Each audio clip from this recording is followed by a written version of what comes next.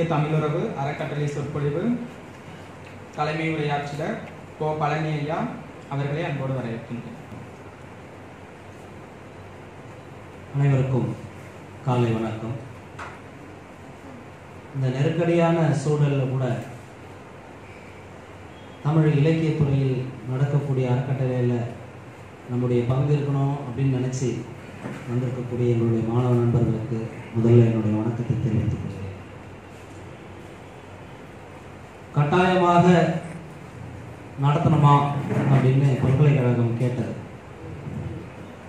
கட்டாயமாக நடத்தியே தீர்வேன் அப்படின்னு தமிழ் இலக்கியத்துறை சொன்னார். ஏனென்று சொன்னால் தமிழக மலேசிய தமிழுறவு அறக்கட்டளை என்பது தமிழ்நாட்டிற்குரிய அறக்கட்டளை மட்டுமல்ல மலேசியாவுக்கும் அங்கிருக்கக்கூடிய தமிழர்களுக்கும் உரிய அறக்கட்டளை ஐயா தத்துவ சாமியல் ஐயா அவர்கள் இந்த அறக்கட்டளையை உருவாக்கினார். ஒவ்வொரு ஆண்டும் மலேசிய மண்ணில் இருக்கக்கூடிய நம்முடைய தமிழ் உறவுகள் இங்கே வந்து ஆய்வுரைகளை வழங்கி செல்வது வழக்கம். மலேசியா பக்கத்தில் இருக்கிற புகுடி பூண்டியோ பொன்னேரியோ அல்ல. அது அயல் நாடு. அந்த மண்ணிலிருந்து இங்கே வரணும்னு சொன்னால் வீசா எடுக்கணும். நடந்தெல்லாம் வர முடியாது. ஃப்ளைட்டில் டிக்கெட் போடணும். இதெல்லாம் அவர்கள் ஒரு மாதத்திற்கு முன்னதாகவே அந்த ஏற்பாடுகளை செய்தாக வேண்டும். அப்படிப்பட்ட ஒரு செயல்திட்டம் நடந்து முடிந்திருக்கக்கூடிய சூழலில் இந்த அறக்கட்டளையை ரத்து செய்வது என்பது இயலாத ஒன்று. தமிழுக்காக நாம் செய்கின்ற இந்த பணி சிக்கலுக்குள்ளாகும் பொழுது நாம் தான் அதை எதிர்கொள்ள வேண்டியிருக்கிறது. அந்த தேவையின் அடிப்படையில் உங்களை எல்லாம் கட்டாயமாக வந்து சேருங்கள் என்று அன்பு கட்டளை பிறப்பிக்க வேண்டிய அவசியம் ஏற்பட்டது. பல்கலைக்கழகமே மூடினா கூட தமிழ் இலக்கியத்துறை மூட மாட்டீங்களே? அப்படின்னு உங்களுக்கு ஒரு எண்ணம் இருக்கலாம். ஆனால் இதுதான் சூழல். இது நடத்தியாக வேண்டிய ஒரு கட்டாயம். அந்த அடிப்படையில் நீங்கள் எல்லாம் தமிழ் இலக்கியத்துறை என்கின்ற அடிப்படையில் கைகோர்த்து நிற்பது உள்ளபடியே மிகுந்த மகிழ்ச்சி அளிக்கிறது. வர முடியாத நண்பர்கள் தூரத்தில் இருக்கலாம். தூரமாக போயிட்டோம் எங்களுக்கு திரும்பி வந்து சேர முடியல என்கின்ற அடிப்படை கூட அவர்களுக்கு இருக்கலாம். ஆனால் அதையெல்லாம் தாண்டி இங்கே வந்திருப்பவர்கள் மிகுந்த மரியாதைக்குரியவர்கள். உங்களை எல்லாரையும் அன்போடு வணங்கி தமிழ் தமிழக ம மலேசிய தமிழ் உறவு அறக்கட்டளை மற்றும் கருத்தரங்கை நடத்துவதற்கு இங்கே இரு பெரும் அறிஞர்கள் மலேசிய மண்ணில் இருந்து நம்முடைய உறவுகள் இங்கே வந்திருக்கிறார்கள். அவர்களை தனிப்பட்ட முறையில் வரவேற்புரையில் நம்முடைய பேராசிரியர் அவர்கள் வரவேற்பார்கள். என்றாலும் கூட தனிப்பட்ட முறையில் நான் அவர்களை வருக வருகவென்று வரவேற்கிறேன். கிருஷ்ணன் ஐயா அவர்கள் நம் துறை மாணவர். இங்கே ஆய்வியல் ஆய்வு முடித்து முனைவப்பட்ட ஆய்வை முடித்தவர் பேராசிரியர் பொற்கோ ஐயா அவர்களுடைய வழிகாட்டலில் அவர் முனைவர் பட்டம் பெற்றவர் அவருக்கு இந்த மண் ரொம்பவும் அது பேசிகிட்டு இருக்கும்போது சொன்னார் முன்னாடியெல்லாம் இந்த டிசம்பர் மாதத்தில் நல்ல குளிர் அடிக்கும். இப்போல்லாம் குளிரே அடிக்கல அப்படின்னு சொன்னார். நிறைய மாற்றங்கள் நடந்து கொண்டே இருக்கிறது. அதுவும் சூழல் மாற்றம் என்பது மிக வேகமாக நடந்து கொண்டிருக்கிறது. கட்டாயமாக அடுத்த ஆண்டு எல்லாம் இந்த குளிர் கூட இருக்காதுன்னு நான் நினைக்கிறேன். அப்போ அந் அந்த மாதிரி இந்த மண்ணோடு மிக நெருக்கமான பழக்கமுடையவர் கிருஷ்ணன் மணியம் அவர்கள். முனைவர் பேராசிரியர் மோகன்தாஸ் அவர்கள் மலேசிய மண்ணிலிருந்து இங்கே வந்திருக்கிறார்கள். மிகவும் அமைதியானவர் ஆனால் மிக ஆர்ப்பாட்டமாக ஆய்வுகளை செய்யக்கூடிய ஒரு அறிஞர். அந்த அந்த அவரையும் வருக வருக என்று தனிப்பட்ட முறையில் நான் வரவேற்கிறேன். பொதுவாக கிருஷ்ணமையா அவர்கள் அவர்களிடம் நான் கேட்டிருக்கிறேன். அவரும் ஒப்புக்கொண்டிருக்கிறார். இந்த அறக்கட்டளையில் தொகை குறைவாக இருக்கிறது. இது உலகம் முழுவதும் இருக்கக்கூடிய தமிழர்களுக்கான அறக்கட்டளையாக நாங்கள் பார்க்கிறோம்.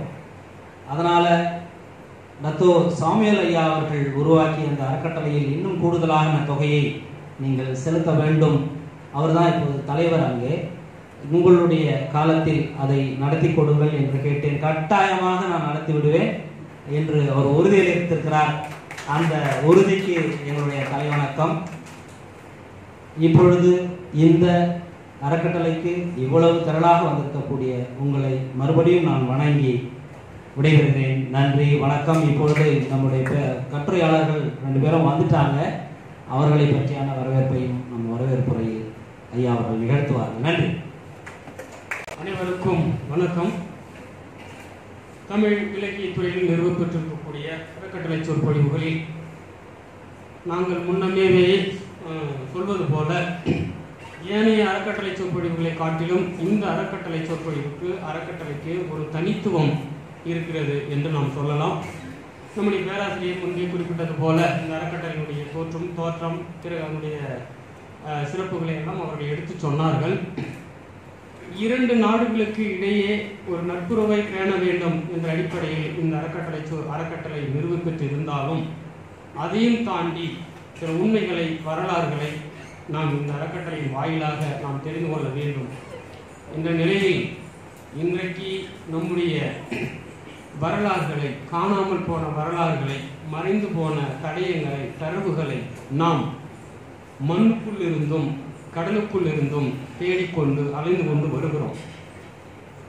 அதே போல இன்றைக்கு மண்ணுக்குள்ளும் கடலுக்குள்ளும் இல்லாமல் மண்ணில் வாழ்ந்து வரக்கூடிய ஒரு மிகப்பெரிய ஒரு தரவுகளாகவும் தடயமாகவும் இருப்பதுதான் இன்றைக்கு மலேசியா மண்ணில் இருந்து இருக்கக்கூடிய நம்முடைய வேர்வினுடைய செய்கள் அங்கு என்றைக்கோ சென்ற அவர்கள் நம்முடைய அடையாளங்களை அங்கு நிலைநிறு நிலைநிறுத்தி கொண்டு வருகிறார்கள்.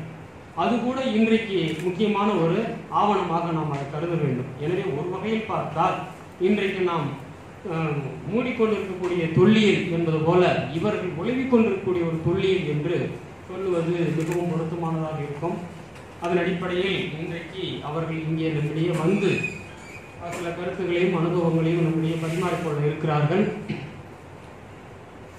இந்த பொழிவில் நமக்கு இன்றைக்கு உரையாற்ற வந்திருக்கக்கூடிய அன்புக்குரிய பேராசிரியர் முனைவர் கிருஷ்ணன் மணியம் அவர்களையும் பிறகு அதனுடைய தொடர்ச்சியாக நம்முடைய மோகன்தாஸ் ராமசாமி அவர்களும் இங்கே வந்திருக்கிறார்கள். இரண்டு பெரும் பேராசிரியர்கள் இங்கே வருவது என்பது ஆண்டுதோறும் வந்து செல்வது என்பது வாடிக்கையான ஒன்று. பொது மாணவர்களுக்கு தெரியாது. அவர்களுடைய பொழிவுகளை எல்லாம் நாங்கள் வழக்கமாக கேட்டு கேட்டுக்கொண்டு வருகிறோம். கிட்டத்தட்ட ஒரு பதினைந்து ஆண்டுகளுக்கு மேலாக அவர்கள் இங்கு வந்து தங்களுடைய அனுபவங்களையும் தங்கள் நாட்டில் தாங்கள் செய்து கொண்டு வரக்கூடிய சாதனைகளையும் அவர்களுக்கு அங்கு கிடைக்கக்கூடிய வலிகளையும் வேதனைகளையும் எல்லாம் இங்கே நம்மளே வந்து பரிமாறிக்கொள்வார்கள் அதன் அடிப்படையில் உரிமையோடு இங்கே வந்து அவர்கள் அனுபவங்களை பரிமாறிக்கொள்வது என்பது மிக ஒரு ஒரு முக்கியமான ஒரு நிகழ்வு. அதாவது என்னன்னு சொன்னாக்கா தாயை கண்டு சேய் அகமகிழ்வது போலவும் சேயை கண்டு தாய் அகமகிழ்வது போலவும் இங்கே இரண்டு வகையான இரட்டிப்பு மகிழ்ச்சியை நாம் இந்த தருணத்தில் நாம் பெறுகிறோம். அந்த வகையில் இங்கே இரண்டு பெரும் பேராசிரியர்கள் இங்கே வந்திருக்கிறார்கள். அவர்களை இந்த நேரத்தில் வருக வருக என வரவேற்பதில் மிகுந்த மகிழ்ச்சியையும் மன மகிழ்வையும் நாம் இந்த நேரத்தில் நாம் பெறுகிறோம். அதுபோலவே இதனுடைய தொடர்ச்சியாக இந்த அறக்கட்டளையினுடைய தொடர்ச்சியாக கருத்தரங்கம் ஒன்று நிகழ இருக்கிறது. அந்த கருத்தரங்கத்திற்கு தங்களுடைய ஆய்வு கட்டுரைகளை வழங்க வந்திருக்கக்கூடிய நம்முடைய பேராசிரியர் தாமரை கண்ணன் பக்கத்தில் இருக்கக்கூடிய மாநில கல்லூரியில் மிகச்சிறிய சீரிய சிறந்த பணிகளை எல்லாம் மாற்றி கொண்டு வரக்கூடிய நம்முடைய பேராசிரியர் தாமரைக்கண்ணன் அவர்கள் இங்கு வந்திருக்கிறார்கள். அவர்களையும் இந்த நேரத்தில் வருக வருக என்று வரவேற்கிறோம்.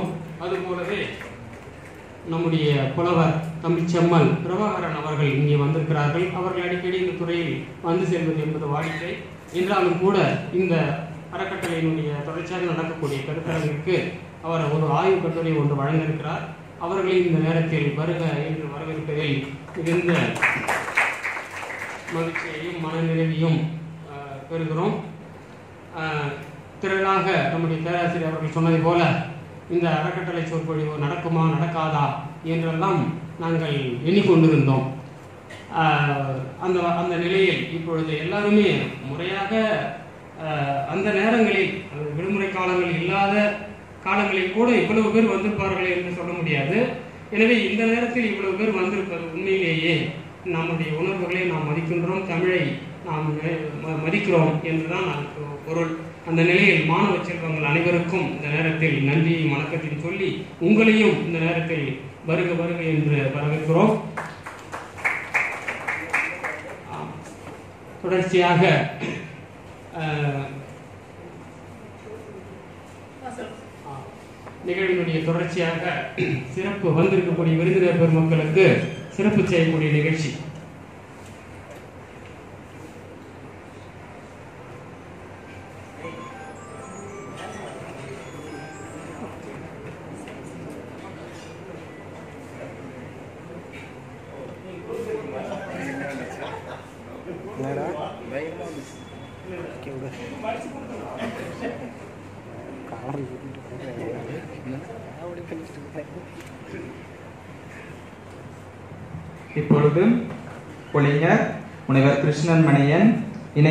பேராசிரியர் மற்றும் தலைவர் இந்திய ஆய்வியல் துறை மலாய் பல்கலைக்கழகம் மலேசியா அவர்கள். அண்மை கால மலேசிய தமிழ் சிறுகதைகளின் செல்நெறிகள் என்ற தலைப்பிலே பொறுமையிலே நிகழ்ச்சியை சிறப்பிப்பார். ஆதிபகவன் மதுச்சை உலக்கு சென்னை பல்கலைக்கழக தமிழ் இலக்கியத்துறை தலைவர் பேராசிரியர் கோ பழனி அவர்களே பேராசிரியர் ஏகாம்பரம் அவர்களே என்னுடைய சக விரிவுரையாளரும் எங்களுடைய இந்திய ஆய்வுத் துறையின் மலாயப்பள்ளி இந்திய ஆய்வுத் துறையின் மூத்த விரிவுரையாளருமான டாக்டர் மோகன்தாஸ் அவர்களே. என் இனிய நண்பர் நாங்கள்லாம் ஒரு சார் மாணாக்கர் இணை பேராசிரியர் பா தாமரைக்கண்ணன் மற்றும் ஐயா பிரபாகர் அவர்களே மற்றும் மாணவ செல்வங்களே. உங்கள் அனைவருக்கும் எனது அன்பு வணக்கம். நாங்கள் அங்கே ஃப்ளைட் ஏறும் பொழுது நடக்குமா நடக்காதா? அப்படின்ற மாதிரியான ஒரு சந்தேகத்தில் நாங்கள் வந்து பிளான் எடுத்தோம். என்னன்னு சொன்னால் இது வந்து எப்படின்னா ஒரு ஜப்பானியர் ஒரு கட்டடத்தை கட்டிட்டு அந்த கட்டடத்துக்கு என்ன பேர் வைக்கலான்னு சொல்லிட்டு எல்லாரும் ஒவ்வொரு பேர் சொல்லும் பொழுது நம்மால் மட்டும் அழகான ஒரு பேர் சொன்னாங்களாம் நிற்குமோ நிற்காதோ ஒரு ஸோ அருமையான ஜப்பான் பேராக இருக்க நிற்குமோ நிற்காதோ அப்படின்னு சொல்லி அவங்க பேர் வச்சுட்டாங்கன்னு சொல்லுவாங்க. அந்த மாதிரி நடக்குமா நடக்காதா அப்படின்னு சொல்லிட்டு இங்கே வந்தோம். ஆனால் வந்து பார்க்கும்பொழுது மன மகிழ்ச்சியாக இருக்கின்றது. என்ன காரணம் அப்படின்னு சொன்னால் நீங்கள் அனைவரும் இந்த அற்புதமான விடுமுறை காலத்தையும் தள்ளி வைத்துவிட்டு இந்த மாதிரியான ஒரு பொழிவை நீங்கள் இங்கே கேட்க வந்ததுக்கு மிக்க நன்றி. சரி சென்னை பல்கலைக்கழகம் என்பது என்னுடைய இதயத்தின் ஒரு பகுதி. காரணம் என்னன்னு சொன்னால் என்னுடைய வாழ்நாளிலே நான் ஒரு மூன்றரை ஆண்டு காலம் மிகவும் இனிமையாக கழித்தேன் என்று சொன்னால் இந்த சென்னை பல்கலைக்கழக வாழ்க்கை தான். அதே வேளையில் தமிழக வாழ்க்கையும் கூட. எனக்கு இந்த சென்னை பல்கலைக்கழகத்தில் படிக்கும் பொழுது சென்னையை புரிந்து கொள்வதற்கும் சென்னையை காண்பித்த கண்கள் என்று சொன்னால் அது தாமரை கண்ணனும் முத்துராமலிங்க ஆண்டவரும் தான். பிறகு என்னோட அறிவுக்கண்களை திறந்து வைத்த பொற்கோ அவர்களும் டாக்டர் அரசு அவர்களும் மற்றும் பழனி அவர்களும்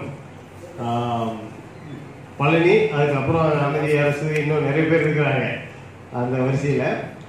ஜோ நம்ம கிறிஸ்துவ கல்லூரியில் இருக்கிற ஜார்ஜ் ஜார்ஜ் இன்னும் நிறைய பேர் ஸோ அவங்க எல்லாமே நான் வந்து இங்கே வாழ்ந்த காலத்திலே எனக்கு பேருதவியாக இருந்தவர்கள். இன்னொரு ஒரு முக்கிய விஷயம் என்னன்னு சொன்னால் சென்னை பல்கலைக்கழகம் வரும் வரையில் நான் நாங்கள் வளைய பல்கலை விரிவுரையாளர் தான் இலக்கியம் ஆசிரியர். இங்கே இருந்து அங்கே வந்து பணியாற்றிய பேராசிரியர்களுடைய அந்த வழிகாட்டலுடன் தான் என்னுடைய கல்வி பணி அங்கே அமைந்தது. ஆனால் இங்கு வந்த பிறகுதான் இன்னொரு ஒரு பெரிய இலக்கியமே இருக்கிறது என்பதை என்னால் அறிந்து கொள்ள முடிந்தது. பிறகு நான் என்ன செய்தேன் என்று சொன்னால் அது உங்களுக்கும் பொருந்தும் என்று நினைக்கிறேன். என்னுடைய இலக்கிய பணி ஒரு ஆய்வு அப்படின்னு இந்த சென்னை பல்கலைக்கழகத்திற்குள்ளே மட்டும் நான் குறுக்கிக் கொள்ளாமல் என்னுடைய அந்த ஈடுபாட்டை தமிழகம் முழுவதும் எங்கே எங்கே மாநாடுகள் நடக்குதோ அங்கே அங்கே எல்லாம் அரசு சார் கூட சேர்ந்துட்டு பயணிக்கிறது தான் எங்கள் வேலை. ஆம், தலித் இலக்கிய மாநாடுகள் இன்னும் பின்னவீனத்துவ மாநாடுகள் இதெல்லாமே ஒரு புறம் மேட்டூர் இங்கே போனோம். அந்த நேரத்தில் இன்னும் வீரப்பன் இருக்கின்றார்.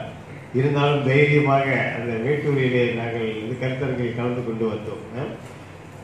இ- இது இது வந்து எனக்கு மிகப்பெரிய அறிவு பசியை உண்டாக்கியது அறிவு பசியை திருத்தும் வைத்தது என்று சொல்ல வேண்டும். அந்த வகையில் தான் இன்றும் நான் வந்து மலையாள பல்கலைக்கழக இந்திய ஆய்வுத் துறையில் நவீன இலக்கிய ஆசிரியராக இருக்கும் பொருட்டு மிக தெளிவாக என்னுடைய கருத்துக்களை என்னால் சொல்ல முடிகின்றது. இங்கேயும் கூட உங்களிடம் நான் பகிர்ந்து கொள்ளக்கூடிய பல செய்திகள். இந்த சென்னை பல்கலைக்கழகத்தின் அறிவு பின்புலத்தில் எனக்கு கிடைத்த ஒரு பேரு என்ற அடிப்படையில் தான் உங்களிடம் பகிர்ந்து கொள்ளவிருக்கின்றேன் இதற்காக சென்னை பல்கலைக்கழகத்திற்கு நான் எப்பொழுதும் நன்றி உடையவனாக இருக்கிறேன். சரி.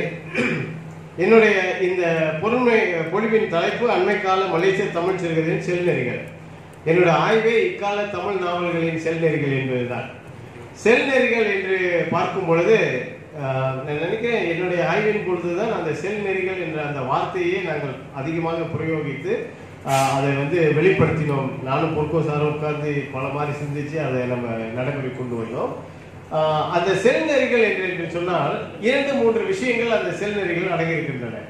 ஒன்று இந்த பின்னை நவீனத்துவ காலகட்டத்தில் கோட்பாடுகளின் அடிப்படையில் எழுதக்கூடிய ஒரு எழுத்து ஒரு செல்நெறியாக உருவாக்கியது ஆனா ஆய்வு செய்து பார்க்கும் பொழுது அதுக்கு முன்னமே நமக்கு செல்நெறிகள் உருவாகி இருக்கின்றன இரண்டு விஷயங்களிலே செல்நெறிகள் நமக்கு உருவாகி இருக்கின்றன ஒன்று ஆளுமைகளின் அடிப்படையில் ஒரு எழுத்தாளனின் படைப்பாற்றலின் அடிப்படையிலே இந்த செல்நெறிகள் உருவாகின்றன அடுத்தது சமகால பிரச்சனைகளையும் அந்த சமூக சிக்கல்களை ஆய்வு செய்வதன் மூலமாக படைப்பாளர் படைப்புகளை கொண்டு வருவதும் இந்த செல்நெறிகள் தொடர்ந்து வருவதற்கான ஒரு ஒரு வாய்ப்பாக இது அமைந்திருக்கின்றது.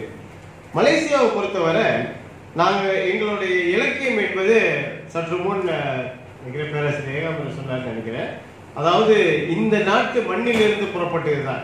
அது மிக சரியான உண்மை.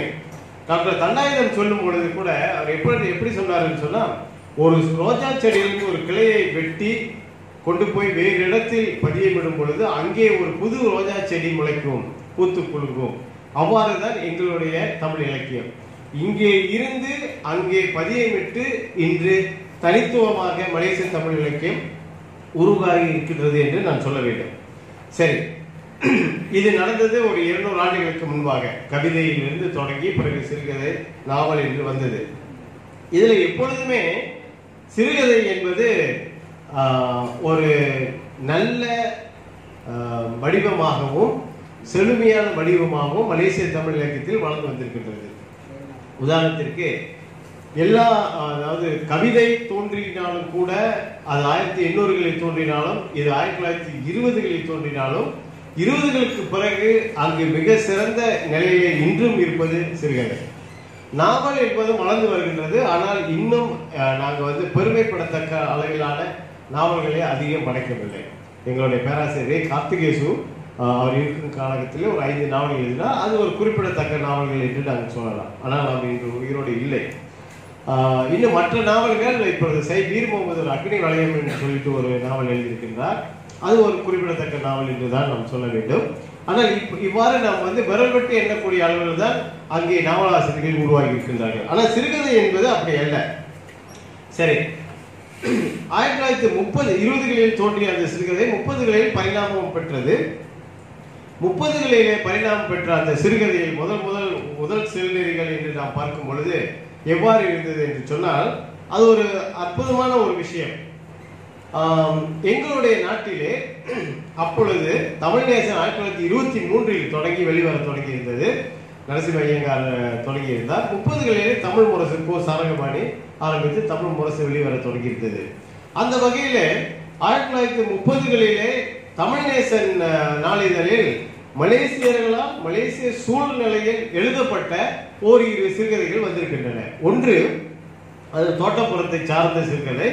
மற்றொன்று அங்கு மலேசிய ஆஹ், மலாய இனத்தவர் அவர்களுடைய வாழ்க்கை முறையை பற்றியான அவர்களுக்கும் தமிழர்களுக்கும் இருந்த அந்த ஊடாட்டம் பற்றியான கதைகள் வந்திருந்தன. சரி முதலில் இந்த கதைகளை பார்ப்போம். இந்த கதைகள் வந்து எங்களுக்கு ஒரு புதிய சிந்தனையை தோற்றுவித்தது. அதாவது ஒரு புதிய செல்நெறியை தோற்றுவித்தது.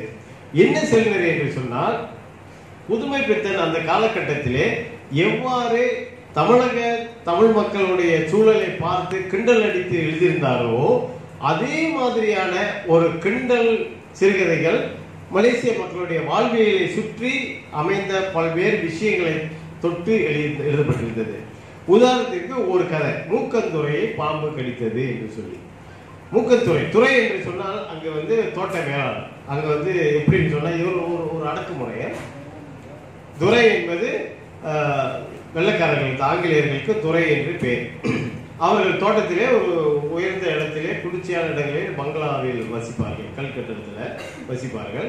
அவர்கள் கீழே கிராணிமார்கள். இந்த கிராணி அப்படின்னு சொன்னா கிளாக் கிளாக்கு கிராணின்னு சொன்னா இந்த கிளாக்குகள் வந்து யார் அப்படின்னு சொன்னா சிலர் ஆங்கிலேயர் இருந்திருக்காங்க பலர் யாழ்ப்பாணத்தவர்கள். அடுத்தது மலையாளிகள். அடுத்து அதற்கு கீழே இருக்கிறவர்கள் தொழிலாளி. இந்த இந்த கிழக்குகளுக்கும் வந்து கல்கட்டடங்கள் வீடு. ஆனால் அடுத்தது தொழிலாளி பெரும்பாலானவர்கள் தமிழர்கள். ஆற்காடு மாவட்டம் சேலம் இந்த மாதிரிலாம் வந்தவர்கள். இவர்களுக்கு வந்து பலகை வீடு. தான் வீடு ஸோ இது வந்து ஒரு ஒரு என்ன சொல்றதுன்னா ஒரு வரன்முறை. அதிகார கட்டமைப்புக்குள்ள ஒரு வரன்முறை. துறை ராணி அதுக்கப்புறம் வந்து தொழிலாளி. ஸோ அப்ப இந்த அதிகார கட்டமைப்பின் அடிப்படையிலே தொழிலாளி எப்பொழுதுமே சுரண்டப்படுவான். அது தமிழர்கள் எப்பொழுதும் சுரண்டப்படுவார் ஏன் எப்படி இப்படி வச்சாங்க அப்படின்னு சொன்னா இந்த கிராணி என்பவன் தான் வந்து துறைக்கு அவன் அடிவருடியா இருப்பான். ஆனா இந்த தொழிலாளர்களை ஏறி மதிப்பான். இவர்களை புரிந்துதான் அவர்கள் மேல வருவாங்க. அதே நேரத்துல இந்த தொழிலாளி மேல வரக்கூடாதுன்றதையும் ரொம்ப ஜாக்கிரதையா கவனிச்சுக்குவான். இங்க இருந்து கிராணி வர்றதுக்கான வாய்ப்புகள் இல்லை. பிற்காலத்தில் வந்ததுன்னு வச்சுக்கோமே. ஆனா அந்த காலகட்டத்தில் இல்லை. ஸோ இப்போ இந்த அடிப்படையில் தொழிலாளியானவர் இந்த ரெண்டு வர்க்கத்திடமும் எப்பொழுதுமே வந்து ஒரு என்ன சொல்றது ஒரு நல்ல புரிதல்கள் இல்லாத ஒரு நிலையிலையும் அவர்கள் மேல் ஆத்திரை கொள்பவர்களாகவும் தான் இருப்பார்கள். இந்த அடிப்படையில் தான் மூக்கத்துறையை பாம்பு கிடைச்சது. இப்ப துறை என்பவனை கூட அவனோட ஆங்கில பெயர் தெரியாதனால அவருக்கு மூக்கு பெருசாக இருக்கிறதுனால அவருக்கு மூக்கத்துறையை பெயர் வச்சுட்டாங்க. அடுத்தது பாம்பு கடித்ததுன்னா இந்த கதையில் என்ன சொல்றாங்கன்னா ஒரு நாள் வந்து மூக்கந்துறை வீட்டுக்குள்ள போறாரு. ஆஹ் அவரோட வீட்டு படுக்கையில ஒரு பாம்பு கிடக்குதுன்னு சொல்லி கையை முறையான கத்தி ஆளெல்லாம் வர சொல்லி தொழிலாளர்களை போயிட்டு பாம்பு அடிக்க சொல்றாங்க. தொழிலாளர்களை போய் பாம்பு அடிக்கும் பொழுது அந்த பாம்பு வந்து பாம்பு அல்ல அந்த துறையோட இடைவார்பட்டை. இடைவார்பட்டை கிடக்குது. அது பாம்புன்னு நினைச்சு க- அடிக்க சொல்றாரு. இதுல வேற ஒண்ணுமே அந்த இதுதான் கதையாக அவர் காட்டுறாரு. ஆனா இதுல என்ன சொல்ல வர்றாருன்னா இந்த இடைவார்பட்டை கூட இந்த துறைக்கு பாம்பாக தெரிந்து அதுவும் அந்த தொழிலாளி தான் வந்து அடிக்கணும். ஆனா இந்த பாம்புகள் சுற்றி ஓடக்கூடிய ரப்பர் தோட்டங்களில் தான் இந்த தொழிலாளி வேலை செய்ய வேண்டும். அப்ப துறையோட உயிர் எவ்வளவு பெரிய உயிர்? தொழிலாளருடைய உயிர் எவ்வளவு அப்படின்றத ஒரு கிண்டலாக இவன் சொல்ல வந்தாலும் கூட அதில் இருக்கக்கூடிய அந்த உண்மை வந்து மிகப்பெரிய உண்மை. அதான். ஆனால் இந்த மாதிரியான எழுத்துக்கள் தொடரப்படலை ஒன்று பிற்காலத்தில் வந்து ரெண்டாம் உலக போர் வந்துருச்சு ஆயிரத்தி தொள்ளாயிரத்தி நாற்பத்தி ஒன்றில் நமக்கு வந்து நிறைய தடங்கல்கள் பத்திரிகைகள் வந்தன. ஆனால் இந்த மாதிரியான எழுத்துக்கள் வர முடியாம போயிடுச்சு ஸோ இது இது வந்து ஒரு தடங்களாக இருக்கலாம். அதே நேரத்தில் மலாய்க்காரர்களுடைய வாழ்க்கை அப்படின்னு பார்க்கும் பொழுது அந்த காலகட்டத்தில் வந்து கட்டாய கல்யாணம் அப்படின்னு சொல்லிட்டு ஒரு நிறைய கதைகள் மலாய் கதைகள் வந்திருக்கின்றன. அது கதை கதவின் அடிப்படையில். அதே மாதிரியான ஒரு கதையை தமிழில் எழுதியிருக்காங்க. வெல்வெட்டுக்குள்ளாய் அப்படின்னு சொல்லிட்டு. என்ன கதை அப்படின்னு சொன்னால் ஒரு செங் இவான் சீன பெண்ணை ஒரு மலாய்க்கார பொங்கல் பொங்கல்னு சொன்னால் அந்த கிராமத்து தலைவர் அவருடைய மகன் விரும்புகிறான் ஆனால் மலாய் இனத்தில் வந்து இஸ்லாமியர் அல்லாதவர்களை வந்து அவங்க பொ- மணப்பெண்ணை ஏற்றுக்கொள்ள மாட்டாங்க. இது அவங்களுக்கு பிடித்ததில்லை. ஸோ அப்போ பிடி பிடிக்காத பட்சத்தில் அந்த கிராமத்துக்கு வெள்ளம் வருது. வெள்ளத்தில் அந்த காலகட்டத்தை பயன்படுத்தி அப்துல்லா என்ன பண்ணுறான் அவனுடைய வெல்வெட்டு குள்ளாயை வந்து நண்பர்களுக்கு கொடுத்து ஆத்தோட அடிச்சு போயிட்டான் அப்படின்னு அப்பாட்ட சொல்லிடு அப்படின்னு சொல்லிட்டு இவன் போயிட்டான். அவங்க போய் சொல்லணும்னா அப்பா ரொம்ப கவலைப்படுறாரு. சரி இப்படி தெரிஞ்சிருந்தா நான் வந்து அவனை கல்யாணம் பண்ணி வச்சிருப்பேனே அப்படின்னு சொல்லிடும் பொழுது சென்னிவாவோட அப்துல்லா வரான். ஸோ அப்போ வேறு வழி இல்லாமல் அந்த கல்யாணத்தை கட்டி வைக்கிறாங்கன்னு வச்சிங்களேன். இதில் முக்கிய விஷயம் என்னன்னு சொன்னால் இந்த கட்டாய கல்யாணம் என்ற கரு மலாய் எழுத்தாளர்களிடையே தான் மலாயில் படைக்கப்பட்டது அந்த காலகட்ட படைப்பிலக்கியம் ஆனால் தமிழர் ஒருவர் அதை தெரிந்து புரிந்து வெல்வெட்டுக்குள்ளாயின்னு ஒரு கதை எழுதியிருக்காரு அப்படின்னு சொன்னால் எவ்வளவு பெரிய ஊடாட்டம் அந்த காலகட்டத்தில் நடந்திருக்கின்றன. இந்த கிண்டல் அடிக்கும் சொன்னது போல புதுமைப்பித்தனுடைய கிண்டல் அடிக்கும் நடையை இவர் பயன்படுத்தி எழுதியிருக்கக்கூடிய இந்த சூழல் ஆனால் நமக்கு வந்து தொடரப்படாமலே போய்விட்டது. ஸோ இது இது வந்து ஒரு ஒரு குறுகிய காலகட்டத்தில் விளைந்த ஒரு செல்நெறி ஆனால் பிற்காலத்தில் இதை வந்து நம்ம வந்து பெருசாக மேலே எடுத்துட்டு வரல. பிறகு ஜப்பானியர்களோட ஆட்சி நாற்பதுகளில் வந்தது. இந்த நாற்பதுகளில் வந்த பிறகு பத்திரிகைகள் வந்தன. ஏன் பத்திரிகைகள் வந்தது அப்படின்னு சொன்னால் ஜப்பானியர்களுக்கு ஒரு பிரச்சாரமாக அந்த பத்திரிகைகள் வழங்கின. காந்தியை பற்றிய கதைகள் ஜப்பானியர்களுக்கு ரொம்ப பிடிக்கும். அதே நேரத்தில் நேதாஜி வந்து ஜப்பானியர்களுக்கு சார்ந்து இருந்ததுனால நேதாஜி பற்றிய செய்திகள் இவர்களுடைய உலக யுத்தத்தின் வெற்றிகள் பற்றிய விஷயங்களை இந்த பத்திரிகைகள் வர வேண்டும் என்று சொல்லி அந்த பத்திரிகைகளை தொடர்ந்து அச்சிட அவர்கள் வந்து அனுமதி கொடுத்திருந்தாங்க ஆனால் அந்த நேரத்தில் வந்து நம்மால் வந்து நிறைய படைப்பிலக்கியங்களை கொண்டு வர முடியவில்லை. இப்போ சுதந்திர இந்தியா சுதந்திர உதயம் யுவ பாரதம் போன்ற பத்திரிகைகள் அந்த காலகட்டத்தில் வெளிவந்திருந்தன. பிறகு ஐம்பதுகள். ஐம்பதுகளில் சில முக்கியமான விஷயங்கள் இன்னொரு ஒரு ஒரு ஒரு செல்நெறியை தோற்றுவித்தது. உதாரணத்திற்கு ஆயிரத்தி தொள்ளாயிரத்தி ஐம்பத்தி ஒன்றிலே கு. அழகிரிசாமி இங்கே இருந்து சக்தி இதழில் பணியாற்றிய பிறகு அங்கே வந்து தமிழ்நேசனுக்கு ஆசிரியராக இருந்தார். கு. அழகிரிசாமியை பொறுத்தவரை அவர் ஒரு சிறுகதை மன்னர். ஆனால் சோசியலிஸ்ட் அஹ், சிறுகதை நிறைய எழுதியிருக்கிறாரு. மார்க்சிஸ்ட் கதைகளும் நிறைய எழுதியிருக்காங்க. இவருக்கு அவரை சார்ந்த அவரை ஒட்டிய விஷயங்கள் வந்து அங்கே இருக்கக்கூடிய சிறுகதைகள் வர வேண்டும் என்று சொல்லி நிலாவட்டம் அப்படின்னு சொல்லிட்டு ஒரு அமைப்பை உருவாக்கி அங்கே ஆச- அங்கே இருக்கக்கூடிய எழுத்தில் சிறந்தவர்கள் எல்லாத்தையும் அழைத்து அவர்களோட கலந்துரையாடி அந்த அவர்களுடைய கிடைக்கக்கூடிய அந்த கதைகளை அவர் பிரசுரம் செய்து செம்மைப்படுத்தி வெளியிட்டு வந்தார். இதன் மூலமாக ஒரு சிறுகதை ஆசிரியர் அல்லது பத்திரிகை ஆசிரியரினுடைய ஆளுமை அந்த இடத்துல ஒரு செல்நெறியாக உருவாகியது இவருடைய எண்ணங்கள் இவருக்கு ஏற்புடைய செய்திகள் அந்த செல்நெறிகளிலே அதாவது அந்த கதைகள் வர வேண்டும் என்று சொல்லி அது ஒரு செல்நெறியாக செயல்பட்டது. ஆனால் அவர் ஒரு வருட காலத்தில் திரும்பி வந்துட்டார். இடைப்பட்ட காலத்தில் ஒன்றும் இல்லாமல் போயிடுச்சுன்னு வச்சுங்களேன் அப்போ வந்து ஒரு கேள்வி வந்தது மலேசியால தமிழ் எழுத்தாளர்கள் இருக்கின்றார்களா அப்படின்னு ஒருத்தர் வந்து ஒரு கேள்வியை கேட்டார். ஆதி நாகப்பன் சொல்லிட்டு தமிழ் நேசத்துக்கு இவர் வந்த பிறகு ஒரு ஒரு அங்கே அவர் வந்து பிறகு வழக்கறிஞர் பிறகு மந்திரியாக கூட ஆகினார் அவர் ஆசிரியராக பொறுப்பேற்றவுடன் மலேசியாவில் தமிழ் எழுத்தாளர்கள் இருக்கிறார்களா அப்படின்னு சொல்லிட்டு ஒரு கேள்வி கேட்டார். உடனே ஒரு ரெண்டு பேர் பொங்கி எழுந்தார். அவங்களும் வந்து தமிழகத்துக்கு தொடர்பு உள்ளவங்க தான். சக்தி இதழில் தான் இவங்களும் பணியாற்றி இருக்கிறாங்க சுப நாராயணனும் பைரோஜி நாராயண் பைரோஜி நாராயண் யாருன்னா நடிகர் ரவிச்சந்திரனோட அண்ணன். அவர் அங்கே இருந்தவர் இவங்க இரண்டு பேர் என்ன செஞ்சாங்க?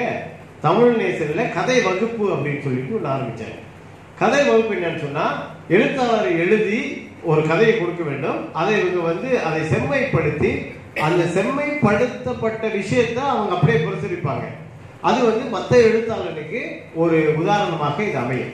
இந்த இடத்துல இதை எழுதக்கூடாது இதை எழுதக்கூடாதுன்னு சொல்லிட்டு பிறகு செம்மைப்படுத்திய கதையும் அங்க வரும். ஸோ இது போன்ற ஒரு ஒரு ஒரு வருட காலம் இதுவும் நடந்தது. இதுக்கு பிறகு அதை போட்டி வைத்து நல்ல எழுத்தாளர்கள் சிறந்த எழுத்தாளர்கள் அப்படின்லாம் சொல்லிட்டு ஒரு பட்டங்கள் கொடுத்து பண்மையில் தான் மறைந்தார்மா ராமையான்னு சொல்லிட்டு. அவர் அப்போ ஆயிரத்தி தொள்ளாயிரத்தி ஐம்பதுலே இந்த போட்- இந்த இவர்களுடைய பாசறையில் வளர்ந்தவர். இன்னும் நான் மகேஸ்வரியெல்லாம் இருக்காங்க இன்னும். இப்படி ஒரு ஒரு எழுத்து பரம்பரையை தோற்றுவித்தார்கள். இது ஒரு வகையான செல்நெறி தான் என்னன்னு சொன்னா சுப நாராயணனும் வைரோஜி நாராயணனும் எவ்வாறான சிறுகதைகள் வேண்டும் என்று நினைக்கின்றார்களோ அதை போன்று அந்த எழுத்தாளர்களை உருவாக்கினார்கள். இது வந்து ஒரு வகையான செல்நெறியாக அந்த காலகட்டத்தில் உருவாகியது. ஆனா இதுவும் அதற்கு பிறகு தொடர் தொடரப்படலன்னு வச்சுக்கோங்களேன். ஏன்னா சுப நாராயணன் அதுக்கப்புறம் தமிழரசர் நிறுத்தினோடனே தமிழ் முரசிலே ரசனை மட்டம் அப்படின்னு சொல்லிட்டு ரசனை வகுப்பு அப்படின்னு சொல்லிட்டு ஒன்று நடத்தினாரு. கொஞ்ச காலமாக. கோ சாரகபாணியோடைய அடிப்படையில். அடுத்து கோ சாரகபாணி வருகிறார். கோ சாரகபாணி ஒரு செல்நெறியை உருவாக்க விட்டாலும் அவர் வந்து ஒரு ஊக்குவிப்பின் மூலமாக ஒரு ஒரு ஒரு சாலை மா- எழுத்தாளர்களை உருவாக்கினார்.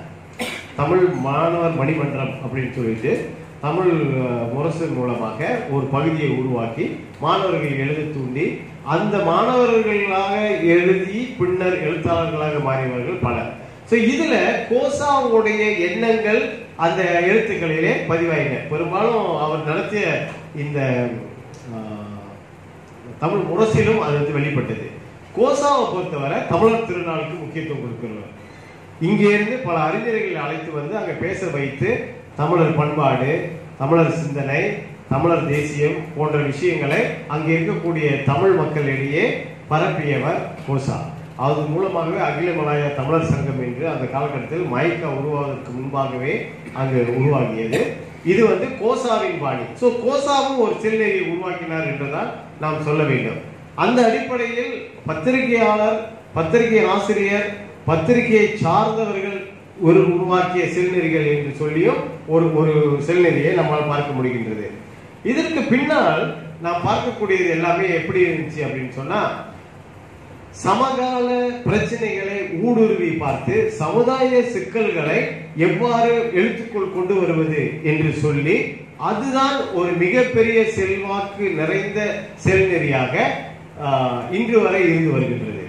இன்றும் இந்த மாதிரி சமுதாயத்தை விமர்சிக்கும் அல்லது சமுதாயத்தை திறனாய்வு செய்து பார்க்கும் அல்லது சமுதாயத்தில் நடக்கும் சமகால செய்திகளை கொண்டு வருவது என்ற ஒரு செல்நெறியின் அடிப்படையிலே இந்த எழுத்துப்போக்குகள் இருக்கின்றன.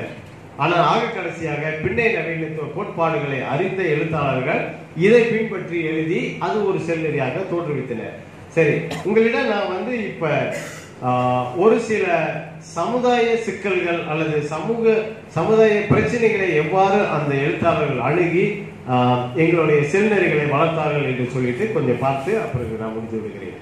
ஸோ இப்போ வந்து முதலிலே நம்ம பார்க்கும் பொழுது சஞ்சி கூலிகளாக இங்கிருந்து நாங்கள் அங்கே சென்று அங்கே நாங்கள் வாழ்ந்த அந்த சூழலை எழுத்தாளர்கள் தங்களுடைய எழுத்துக்களை கொண்டு வந்தனர். அந்த வகையில் சி. கமல்நாதன் சஞ்சி கூலி சிறுகதை இவ்வாறு நாம் பார்க்கலாம். பெரியசாமி கங்காணியோ இல்லாத சொர்க்கத்தை எல்லாம் அந்த வாயில்லாத கிராம பூச்சிகளுக்கு சொல்லி தங்களுக்கு தலக்காசு என்ற மாதாந்திர போனஸுக்காக வெள்ளைக்கார துறைகளுக்கு காட்டி கொடுத்த கருங்காலி கொடுமைகள் இன்றைக்கு நினைத்து கொண்டாலும் கர்ப்பம் கலங்கிவிடும்.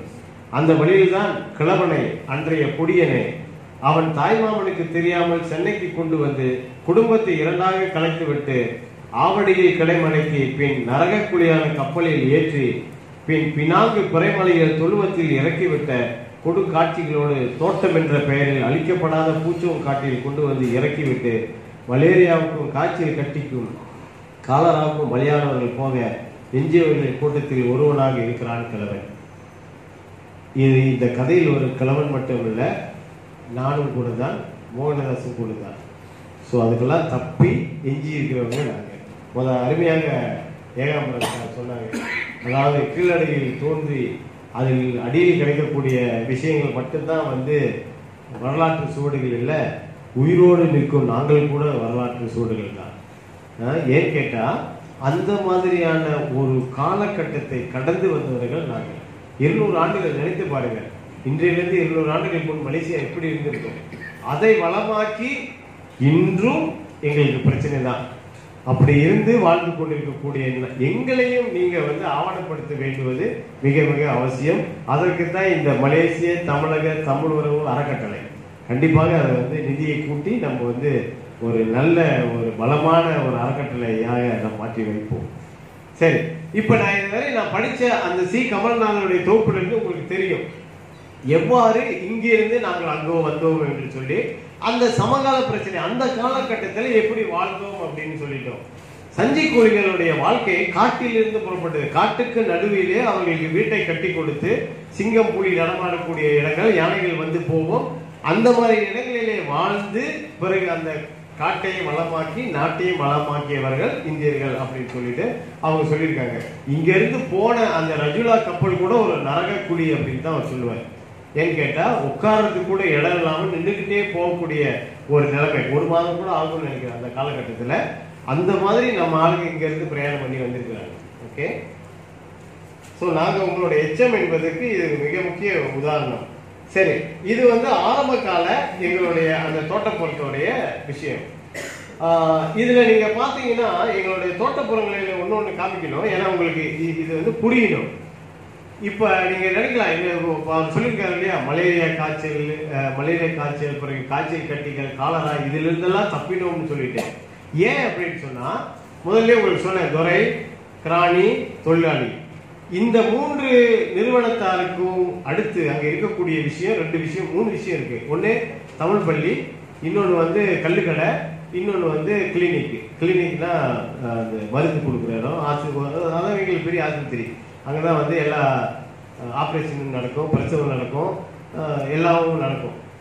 அதுக்கு வந்து ஒரு டாக்டர்னு ஒருத்தர் பேர் ஆனால் ஆக்சுவலி அவர் தேர்ட் கிரேட ட்ரெஸ்ஸர் ஒரு மூன்றாவது நிலையில் இருக்கக்கூடிய புண்ணுக்கு மருந்து கட்டக்கூடியவர் தான். அவர் வந்து எங்களுக்கு ஆப்ரேஷன் பார்த்து எங்கள் அம்மாக்கெல்லாம் பிரசவம் பார்த்து நாங்கள் உயிரோடு இன்னும் வாழ்றோம் பாருங்க. நீங்கள் அதெல்லாம் நினச்சி பார்க்கணும். எப்படி வாழ்ந்துட்டு போகணும். இன்னொன்று வந்து அந்த காலகட்டத்தில் நானும் அந்த மாதிரியான கிளினிக்லாம் போயிருக்கிறேன். மருந்து கொடுக்குற இடத்துக்கு. என்னென்னா பெரிய பெரிய ஜாடிகளில் மூணு நாலு ஜாடி இருக்கும். அதில் கலர் கலராக மருந்து இருக்கும். ப்ரௌன் கலரு ரெட் கலரு மஞ்சள் கலரு அப்படின்னு. நீங்கள் எந்த சீட்டுக்கு போனாலும் அதுலேருந்து ஏதாச்சும் ஒன்று அல்லது மூணு கலந்து கொடுக்கப்படும். வயிற்றுவலி என்று சொன்னாலும் காய்ச்சல் என்று சொன்னாலும் காலரா என்று சொன்னாலும் அதான். இதை சாப்பிட்டு இன்னும் உயிரோடு இருக்கணும். இதுதான் வாழ்க்கை. சரிங்களா? ஸோ இதனால தான் நான் சொல்லியிருக்கேன் இந்த மூணு இந்த மூணு சீக்கு தான் இன்னும் பல சீக்கு இருக்கு. நீங்க நெட்டோவோட ஒரு புத்தகம் படிச்சீங்கன்னா அதுல வந்து அவர் எழுதியிருக்காரு. எத்தனை பேர் பாம்பு கடிச்சு செத்தான் எத்தனை பேர் தேள் கொட்டி செத்தான் எத்தனை பேர் புளி அடிச்சு செத்தான் அப்படின்னு சொல்லிட்டு ஒரு பெரிய பட்டியலே அதுல இருக்கு. எங்களுடைய அந்த ஆரம்ப கால விஷயங்கள். ஸோ இந்த ஆரம்ப கால விஷயங்களை பதிவு செய்வதன் மூலமாக ஒரு சமகாலத்தை காட்டணும் அப்படின்றதே ஒரு செல்நெறியாக உருவாகியது. ஸோ அடுத்த நிலையில் பார்த்தீங்கன்னா ஜப்பான்காரர்களுடைய காலம். இந்த ஜப்பான்காரருடைய காலம் அப்படின்றது வந்து எங்கள் நாட்டில் ரொம்ப பேர் இந்த வெள்ளக்காரங்கிட்ட கொடு- கொடுமையை அனுபவிக்கிறோம்னு சொல்லிட்டு ரொம்பவும் எதிர்பார்த்து இந்த ஜப்பான்காரன் வந்தால் நம்மளுக்கு ஒரு மிகப்பெரிய விடிவெள்ளி கிடைக்கும் அப்படின்ற மாதிரி ஒரு ஒரு நிலைமை இருந்தது. அதை தான் வந்து சி வடிவேல் வந்து தன்னுடைய இருண்ட உலகம் என்ற ஒரு கதையில பதிவு செய்யறாரு என்ன சொல்றாருன்னா ஒரு ஒரு பாட்டி பேசுற மாதிரி இருக்கிற முத்தாய் பாட்டி. எங்க அப்பா சப்பாதாரம் வந்த பிறகுதான் இந்த பினாங்கு சீமை செழிப்படைய போகுது. அஞ்சு காசுக்கு விற்கிற சீனி மூணு காசுக்கு கிடைக்கும். கந்த அரிசி பத்து காசுக்கு கிடைக்கும். துணிமணியை கப்பல் கப்பலாக கொண்டாந்து இனமா கொடுப்பான். ஆளுக சம்பளத்தை எல்லாம் ஒசுத்திடுவான் பாருங்க அப்படின்னு அந்த அம்மா சொன்னிச்சு. ஆனா அது நடக்கல. அவன் வந்தவன் என்ன செஞ்சான்? அவன் இந்தியாவை வந்து பிடிக்கணும் அப்படின்னு சொல்லி தரைமார்க்கமாக ரயில் தண்டவாளம் அமைக்கணும்னு சொல்லி எங்கள் ஆளுங்க எல்லாத்தையும் பிடிச்சிட்டு போய் சயாமில் ரயில் அமைக்கிறதுல போட்டு கொண்டான் ஏன் அப்படின்னு சொன்னால் நம்ம நம்ம வந்து நேதாஜிக்கு வேண்டியப்பட்டவர்கள் இல்லையா? பிறகு காந்தியை பற்றி அவங்க ரொம்ப நல்ல சிறப்பான ஒரு எண்ணங்கள் கொண்டவர்கள்னால நம்ம ஆள் சொன்னதெல்லாம் செய்வாங்க. அதனால எங்களோட ஆண்கள் எல்லாத்தையும் பிடிச்சிட்டு போயிட்டாங்க. பிடிச்சிட்டு போய் அங்கே இந்த மாதிரியான விஷயங்களை விட்டால் அதில் பாதி பேர் தான் பாதி பேர் இல்லை கொஞ்சம் பேர் தான் தப்பிச்சு வந்தாலும் தான் சொல்லணும். இதனால தான் நான் வந்து எப்பொழுதுமே மலேசியாவில் பேசும்பொழுது மலேசியாவில் சாதிகள் இல்லை அப்படின்னு சொல்லிட்டு பேசுவேன். இதுதான் எனக்கு வந்து எனக்கு வந்து உண்மையான கரு இந்த இந்த விஷயம். ஆனால் இன்னைக்கு அங்கே இருக்குது சாதி கொடி பறக்குது. வேறு ஒன்றும் இல்லை இங்கே இருந்தால் இறக்குமதியில் நான் போகிற போக்கில் பதிவு செஞ்சுட்டு போயிடுறேன்.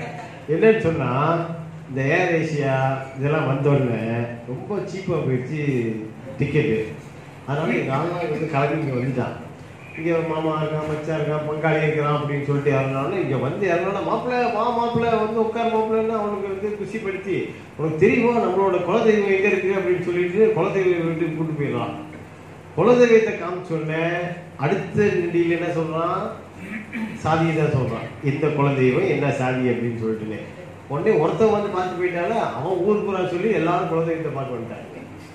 சோ வந்த கையோட போறப்ப வந்து குலதெய்வத்தோட போயிருந்தா பரவாயில்லையா. அந்த சாதியை சேர்த்துக்கிட்டு போயிடறான். நான் இன்னா சாதி அப்படின்னு சொல்லிட்டு. அதனால வரை சாதியே கிடையாது அவனுக்கு தெரியாது. இப்போ என் கூட படிச்ச நண்பர்கள் கூட சாதி எதுன்னு பார்த்து நாங்கள் பழகுறது இல்லை என்னைக்குமே. இன்னைக்கும் அப்படிதான் வச்சுங்களேன். ஆனா என் நண்பனே என்ன செய்வான்னு சொன்னா என்கிட்ட வந்து இப்போ பத்திரிக்கை கொடுக்குறான் கல்யாண பத்திரிக்கை அவன் பிள்ளையோட பத்திரிகை எப்படி கொடுக்குறான்? முன்பெல்லாம் இன்னாருடைய மகன் திருநிறை செல்வன் இவன். அப்புறம் இன்னாருடைய மகள் திருநிறை செல்வி இவளுக்கும் திருமணம் அப்படின்னு. இப்போ அப்படி இல்லை. மாம் என்ன மன்னார்குடியா? மன்னார்குடியை சார்ந்த இவருடைய பேரனும் அல்லது முப்பாட்டனுமான அப்படின்னு சொல்லி அது பின்னால் வரும். ஏதாச்சும் பேர் ரெட்டியிலிருந்து கவுண்டரில் இருந்து என்னென்னமோ பேர்லாம் இருக்கு. எங்களுக்கு சாதி பற்றியே நமக்கு தெரியாது. நாங்கள் வந்து மாட்டிக்கிட்டேன். நான் எங்க தாமரைக்கெல்லாம் அது ஒரு பெரிய கி- கிண்டலான ஒரு இதுதான். என்ன கேட்டாங்க? என்ன சாதி இருக்கு உங்கள் ஊரில் அப்படின்னு சொல்லிட்டு பட்டுன்னு சொல்லிட்டேன் வன்னிய கவுண்டர் இருக்காங்க அப்படின்னு சொல்லிட்டு. எல்லாரும் சிரிச்சிட்டாங்க. ஏன் ஏன் அப்படி சொல்கிறேன் ஐயோ வன்னி என்ன வேறையா? கவுண்டர்னா வேறையா? அப்படின்னாங்க. ஒன்று வந்து பிசியில் இருக்கா? ஒன்று எம்பிசியில் இருக்கா.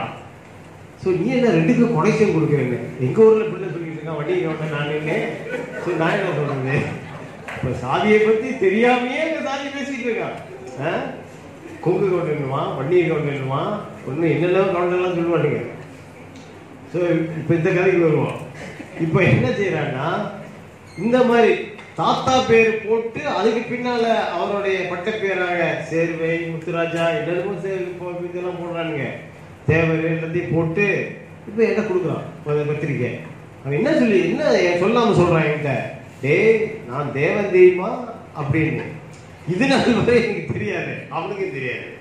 இங்க வந்து கத்திட்டு போனது தான் ஆனா தயவு செய்து நீங்க இன்னும் உங்களுக்கு மலேசியால யாராச்சும் இருந்தாங்கன்னா உங்கள் சாதியை மறந்துட்டீங்கன்னு நீங்களே அப்போ தான் அவங்களையும் மறப்பாங்க சரி. சரி. அதாவது இதுதான் எங்கள் நிலைமை. இப்போ ஜப்பாகார காலகட்டத்தில் அவங்க வந்து சயாம் மரண ரயில்வேக்கு கொண்டு போனவங்களில் கொஞ்சம் பேர் தான் திரும்பி வந்தான். திரும்பி வந்து பார்க்கும் பொழுது தோட்டத்தில் இந்த அம்மா ரெண்டு பிள்ளைய வச்சுக்கிட்டு பேசாம இருக்கும். புதுசாக வந்திருக்க மாட்டான். இவன் வந்தவன் பொண்டாட்டியை தேடி பார்ப்பான் பொண்டாட்டி இருக்காது. உடனே இந்த அம்மா கூட சேர்த்து வாழ்வான் இதுக்கு ரெண்டு பிள்ளை பிறக்கும். அதே போல அந்த இது வேற தோட்டத்துக்கு போயிருக்கோம் அங்கே எவனாச்சும் வருவான் அங்க இருக்கிறவங்களோட சேர்ந்து வாழ்ந்துருக்கோம். இவ்வாறாக ஒருத்தருக்கு ஒருத்தர் சேர்ந்து வாழ்ந்து கல்யாணம் பண்ணல சும்மா சேர்ந்து வாழ்ந்து பல பேர் வந்து இன்னைக்கு அந்த மூலமாக பரம்பரையில் வந்தவர்கள் தான் நாங்க அந்த நேரத்துல நீ என்ன சாதின்னு சேர்ந்து கேட்டு சேரலையே? நீ கவுண்டனா? நானும் கவுண்டேன் அப்படின்னு சேரலையே. தேவரா? தேவரான்னு சேர்ந்து சேரலையே. யார் இல்லமோ அவங்க சேர்ந்து வாழ்ந்தாங்க. சிவாய்கள் சாப்பாடு இல்லாத ஒரு சூழல். ஆனா இன்னைக்கு அது வந்து மாறி போயிடுச்சு. ஆனா நீங்க ஜப்பான் காலத்தில் உள்ள அந்த கதை எழுதியிருக்காரு பாருங்க. முத்துசாமி கிழவன் சொல்லிட்டு சி வடிவேலு. குளிராலும் கொசுக்கடியாலும் அட்டைக்கடியாலும் மருந்து ஒரு ஒருபுறம் சியாம்காரர்கள் காய்ச்சி கொண்டு வந்தவருக்கு ஒருவித சாராயத்தை குடித்துவிட்டு குடலிருந்து அமைதிப்படுவர் ஒருபுறம் சரியாக வேகாத கல்லும் மண்ணும் கலந்த சோற்றையும் குழம்பு என்ற பெயரில் மிளகாய் தூளாக கொட்டி கரையை தின்று வயிற்றோட்டம் கண்டு அவதிப்படுவர் ஒருபுறம் ஜப்பானியரால் அடி உதைப்பட்டு நலிந்தவர்கள் ஒருபுறம் மலாயாவில் விட்டு வந்த குடும்பத்தாரை எண்ணி இயங்கி மெலிந்தவர்கள் ஒருபுறம் சாலையில் சென்று கொண்டிருக்கும் போதே லோரியில் தூக்கி கொ- கொண்டு போய் ரயில் ஏற்றி சியாம் கொண்டு வந்த தள்ளிமையால் குடும்பத்தினர்கள் கூட சொல்லிக் கொள்ளாமல் வந்து தவித்தவர்கள் ஒருபுறம். எத்தனையோ ரகம் மலாய தமிழர்களின் சுமார் ஒரு லட்சம் பேர் இந்த சோக மரண ரயில்வேக்குள்ள அகப்பட்டு தவித்தனர். தமிழர்கள் ரத்த வியாபியாகவும் கண்ணீராகவும் சீலாகவும் ஓடியது. இது வந்து உண்மை. இதில் வந்து எந்த விதமான பொய்யும் அல்லது சேர்த்து கொண்ட விஷயங்களும் கிடையாது. ஸோ இம்மாதிரியான உண்மைகளை இம்மாதிரியான சமுதாய சிக்கல்களை சமுதாயவியல் வாழ்வியலை சிறுகதையில் கொண்டு வரும் ஒரு ஒரு செயல்நெறியாகவும் இந்த காலகட்டத்திலே மலேசிய தமிழ் எழுத்தாளர்கள் செய்தார்கள். இது வந்து எங்களுக்கு ஒரு ஆவணமாகவும் அமைந்தது. பிறகு எங்களுக்கு வந்து சுதந்திரம் கிடைச்ச பிறகு எங்களுக்கு நடந்த ஒரு மிகப்பெரிய கொடுமை என்னன்னு சொன்னால் சுதந்திரம் கிடைச்ச பிறகு ஆங்கிலேயர்கள் பெரிய பெரிய தோட்டங்கள் வைத்திருந்தார்கள். அதில் ஒரு மூவாயிரம் நாலாயிரம் குடும்பங்கள் இருந்தன. அதையெல்லாம் அவர்கள் வந்து விட்டுவிட்டு போய்விட்டார்கள். பிறகு அதை ஒட்டுமொத்தமாக ஆசிய முதலாளிகளால் வாங்க முடியாதனால் அவர்கள் துண்டாடி சின்ன சின்ன தோட்டங்களாக அல்லது சின்ன சின்ன நிலங்களாக அவர்கள் வாங்க ஆரம்பித்தார்கள். இந்த வகையிலே அந்த தோட்டத்தில் இது நாள் வரை வேலை செய்தவர்கள் அத்தனை பேரும் தோட்டத்தை விட்டு வெளியே நிற்கதியாக வெளியேற வேண்டிய நிலை. ஏன்னா அவனுக்கு அஞ்சு சென்ட் நிலம் கூட அங்க இல்லையே. ஒரு சென்ட் நிலம் கூட இல்லையே. இங்க எப்படி இருப்பான்? வித்தவுடன் புது புது முதலாளிக்கு அவனுக்கு வேண்டாம். சோ இதுதான் வந்து மோச தன்னுடைய துண்டாடல் கொடுமை அப்படின்ற ஒரு கதையில சொல்றார். ஐயா நானும் எனது மனைவியும் ஐந்து பிள்ளைகளும் தெலோப் தோட்டத்தில் வாழ்ந்து வந்தோம். ஆறு மாதத்துக்கு முன்னால் அந்த தோட்டத்தை துண்டாக்கிட்டாங்க. நாங்க எல்லோரும் விரட்டப்பட்டோம். நாங்க ரத்த வேர்வை சிந்தி நட்ட ரப்பர் மரங்களையும் கண்ணு போல காப்பாற்றின செம்மனை மரங்களையும் எங்களுக்கு சொந்தமான ஆடு மாடுகள் எல்லாத்தையும் விட்டுவிட்டு நெருக்கதியாக வெளியேறினோம். இது முற்றிலும் உண்மை. ஆயிரத்தி தொள்ளாயிரத்தி அறுபதுகளிலே அங்கே நடந்த ஒரு மிகப்பெரிய கொடுமை இதுதான். அப்படியே விரட்டிட்டான். இவங்களுக்கு எங்க போறதுன்னு தெரியாம ரோட்ல வந்து இருந்து பிறகு வந்து பொம்போக்கு குடியிருப்புல அவர்கள் வந்து குடியேறிய ஒரு நிலைமை. அதை பத்தி பிறகு சொல்ற முடிக்கும் பொழுது. ஏன்னா அங்கே வாழக்கூடிய சூழல்ல என்ன மாதிரியான பிரச்சனைகளை அவங்க அனுபவித்தார்கள் அப்படின்னு சொல்லிட்டு. இது இதுதான் நடந்தது. அதே நேரத்தில் எங்களுக்கு ஆயிரத்தி தொள்ளாயிரத்தி எழுபதுல நடந்த ஒரு மிகப்பெரிய சிக்கல் என்னன்னு சொன்னா இது நம்ம ஆளுங்களும் இன்னைக்கும் வந்து அதை சிந்திக்கணும். சுதந்திரம் கிடைக்கும் பொழுது ஆங்கிலேயன் ஒன்று சொன்னான். என்ன சொன்னான்னா இங்கே இந்த நாட்டிற்கு சீனர் மலாய்க்காரர்கள் இந்தியர்கள். மூன்று பேருக்கு தான் நாங்கள் வந்து சுதந்திரம் கொடுப்போம்னு சொல்லிட்ட பிறகு மலேசிய அரசாங்கம் என்ன சொல்லுச்சுன்னு சொன்னால் இங்கே நீங்கள் அரசு இல்லை இருக்கணும் எங்கள் அரசு கீழே நீங்கள் இருக்கணும்னா நீங்கள் இந்த குடி குடியுரிமை பெற்றுக்கொள்ள வேண்டும். இந்திய குடியுரிமையோட இங்கே இருக்கக்கூடாது அப்படின்னு சொல்லிட்டு ஜுசோலி முறைன்னு சொன்னாங்க. ஜுசோலி முறையில கை தூக்கி நான் வந்து இந்த நாட்டில் இருக்கிறேன்னு சொன்னாவே உடனே உங்களுக்கு பிரஜா உரிமை கொடுத்துருவாங்க. நம்மால் அப்படி இல்லையே. முதல்ல வந்து என்ன நினைச்சான்? அகண்ட இந்தியா தான் நினைச்சான். இங்கேயும் ஆங்கிலேயே அங்கேயும் ஆங்கிலேயே. இங்க இருக்கும் கொஞ்ச நாளைக்கு அங்க போயிட்டு திரும்பி வந்துடலாம்னு நினைச்சான். நாற்பத்தி ஏழு இது சுதந்திரம் கழிச்சு இது தனி நாடா மாறிடுச்சு அப்படின்றத மறந்துட்டான் ஐம்பத்தி ஏழுல ஒண்ணு இது வந்து நான் போய் அங்க விழு- அங்க விழுந்து என் மண்டை அங்கதான் வேகும் அப்படின்னு சொல்லிட்டு உட்காந்துருந்தாங்க எழுபதுல என்ன பண்ணா? யார் யாரு? சரி அவன் சொன்னான் சரி சரி நீ போனேன் ஓகே நான் உனக்கு ஒரு சிவப்படையாளர் அடையாள ஒன்று கொடுத்துட்றேன்ட்டான் அது நிரந்தர குடியுரிமை வாசிது சிவப்பு அடையாள கற்ற பெற்ற அத்தனை பேரும் பிரஜை இல்லை அப்படின்னு எழுபதுல ஒரு சட்டம் கொண்டாடலாம் அப்போ அடி வந்து ஸோ பல பேர் இங்கே வந்தாங்க. திருப்பி வந்தாங்க. இங்கே வந்து சொத்துலாம் சேர்த்து வச்சிருக்கேன்னு சொல்லி வந்து ஒன்றும் இல்லாமல் உட்காந்துவங்களும் நிறைய பேர் இருக்காங்க. அந்த கதையை கேள்விப்பட்டோம். அந்த சமயத்தில் என்ன நடந்துச்சுன்னா தோட்டத்தில் அவங்க வந்து வேலை செய்யலாம் அப்படின்னு சொல்லிட்டு ஒரு ஒரு சலுகை கொடுத்தாங்க. ஆனால் தோட்டத்தில் வேலை செய்யும் அப்படின்ற ஒரு சலுகை வரும்பொழுது அங்கே தான் நான் முன்ன சொன்ன அந்த கிராணியோடைய கைவரிசை இங்க பார்க்கலாம் நீங்க. அவன் என்ன செஞ்சான்? அந்த தோட்டத்தில் வேலை செய்யணும்னா அவன்கிட்ட வந்து நீங்கள் வந்து உரிமை பெற வேண்டும். ஒரு மூன்று மாதத்துக்கு ஒருத்தர் வேலைக்கு வேலை வேலை பெர்மிட்னு சொல்லிட்டு அந்த வேலை பெர்மிட் கொடுக்கறதுக்கு அவன் வந்து ஒரு விலை வச்சான். ஸோ அதுதான் வந்து இந்த ஒரு கதையில் இறைகள்ன்ற கதையில் முத்துசாமி காட்டுறாரு. ஒரு பெண் தொழிலாளிய அவன் வந்து எவ்வாறு தன்னுடைய அதிகாரத்தை பயன்படுத்தி அவளை வந்து அடைய முற்படுகிறான் அப்படின்னு சொல்றாங்க. வேலை பெர்மிட் கூட இந்த மாசத்தோட முடியறாப்புல இருக்கேன் ஆமாங்க ஐயா தான் கொஞ்சம் தயவு செய்து உதவணும். அதுக்குன்னு லட்சுமி? உதவலாம். நான் சொன்னால் முதலாளி ஒன்றும் சொல்ல போகிறதில்ல முதலாளி சரின்னா பெர்மிட்ல சாப்பு திறந்து குத்திக்கலாம். இல்லைன்னா கஷ்டம்தான். கிருஷ்ணனோட சேர்ந்து போ போறதாக தோட்டத்துல பேசிக்கிறாங்களே. ஏதோ இரு. நம்மளையும் கவனிச்சுக்க. என்று கண்களை நாலு பக்கம் சுழல் விட்டு தொடர்ந்தார் சாயங்காலம் சும்மா தானே இருப்பேன் அப்படியே பங்களா பக்கம் வந்துட்டு போயேன். ஸோ இதுதான் அந்த காலகட்டத்தில் எங்களுக்கு வந்த ஒரு சோதனை. இதையும் சமகால பிரச்சனைகளை பதிவு செய்வது போல அவர்கள் ஒரு செல்நெறியாக கொண்டிருந்ததுனால இந்த பிரச்சனைகளும் அவங்க வந்து பதிவு செய்தார்கள். அதே வேளையில் ஒரு கிராணி தன்னுடைய வீட்டுக்கு வேலை செய்ய வந்த அந்த மகளை அநியாயம் பண்ணிட்டான்னு சொல்லிட்டு மிகவும் கோபப்பட்டு போகக்கூடிய ஒரு தந்தையும் இந்த சிவப்படையாளர்கள் பிரச்சனையை தடுத்து நிறுத்துகிறது என்பதே நாகப்பனுடைய ஒரு கதையின் மூலமாக நமக்கு தெரிகின்றது. இதுதான் வாழ்க்கை என்ற அவரோட கதை. இது நாள் வரையில் மானம் கெடாத முன்பு உரமேறிய அவன் உடல் நடுங்கியது. இதோ வாரேன் சர்ற என வெளியேறினான் வாசலில் கொடியில் காய்ந்து கொண்டிருந்த மனைவியின் சிவப்பு நிற கையிலே ஒதுக்க கையை தூக்கினான். சிவப்பு பாஸ்போர்ட் வேலை பெர்மிட் இன்னும் இரண்டே நாட்களுக்கு வேலை. நினைத்து கொண்டவன் கால்கள் மரச்சட்டங்களாக விரைத்து போயின. நடக்கும் துணிவு கால்களுக்கு இல்லை. அதாவது தன்மானத்தோட கூட வாழக்கூடிய ஒரு வாழ முடியாத ஒரு ப- ஒரு சூழலிலே இந்த சமூகம் சிக்கி கொண்டிருப்பதை இந்த சமகால பிரச்சனைகளை பதிவு செய்வதன் மூலமாக இந்த சமுதாயத்திற்கு ஒரு ஆவணமாக கொண்டு வருவதிலே மலேசிய தமிழ் எழுத்தாளர்கள் வெற்றி பெற்றார்கள் என்பது இது இதன் மூலமாக நமக்கு தெரிகின்றது. ஸோ இதுதான் வந்து எங்களுடைய அந்த காலகட்டத்திலே பதிவு செய்யப்பட்ட ஒரு பல்வேறான விஷயங்கள். இதற்கு அப்புறம் நீங்க பார்த்தீங்கன்னா இன்றைய சூழலிலே இருக்கக்கூடிய இந்த காலகட்டத்தில் வெளியில படிக்க போற பிள்ளைகள் திரும்பவும் வர்றதில்லை. அங்கேயே தங்கி விடுகிறார்கள். இங்கே வந்து நினைக்கிறேன் நீங்க அதை ரொம்ப அனுபவிச்சிருப்பீங்க அப்படிங்கிற அமெரிக்கா போனவங்களுடைய தகப்பனார் தாய்மார்கள்லாம் இங்கே வந்து தனிமரமாக நிற்கிறது அந்த மாதிரியான ஒரு சூழலும் இப்பொழுது அங்கே உருவாகி விட்டதையும் கார்த்திகேசு தன்னுடைய கதைகளில் பதிவு செய்வதில் தவறவில்லை. உதாரணத்திற்கு ஒரு கதை ஊசியலை ஊசி மரன்ற ஒரு கதையில் அவர் இப்படி சொல்கிறார் எங்கள் கம்பெனியின் தலைமையகம் லண்டனில் இருக்கிறது. அங்கே என்னை அனுப்புகிறார்கள். எத்தனை நாள்களுக்கு சரண்? அம்மா அவசரமாக கேட்டார். பதவி உயர்வமா? வேலை மாற்றம் உள்ளது என் எதிர்கால கனவு லண்டன் தான். ஆசிரியர் அழுத்து போச்சுமா இனி நான் லண்டன்காரன். ஸோ இது இது- போன்ற பல்வேறு விஷயங்களை இன்றைய காலகட்டத்திலையும் அவர்கள் பதிவு செய்திருக்கின்றார்கள். நான் உங்களுக்கு ஏற்கனவே இந்த பெண்கள் பற்றி நான் உங்கள்கிட்ட சொல்லிட்டேன். இந்த பெண் என்பவளை இவன் வந்து எவ்வாறு இந்த சமூகம் மிக மிக ஒரு பாவப்பட்ட ஜென்மமாகவே பார்க்கின்றது. பெண்களை இவர்கள் நாமே அதாவது அதிகார வர்க்கம் என்பது முதல்ல நம்ம பார்த்தோம். எவ்வாறு அவர்கள் வந்து பழிவாங்கினார்கள் சொல்லிட்டு. ஆனால் நம்மளுடைய அந்த குடும்பங்களிலே பெண் என்பவள் எவ்வாறு பார்க்கப்படுகிறார் என்பதையும் எங்களுடைய எழுத்தாளர்கள் பதிவு செய்திருக்கின்றார்கள். அதில் வந்து தோட்டப்பொருட்களில் வேலை செய்யக்கூடியவர்கள் ஆணும் பெண்ணும் ஒரே மாதிரி வேலை தான்.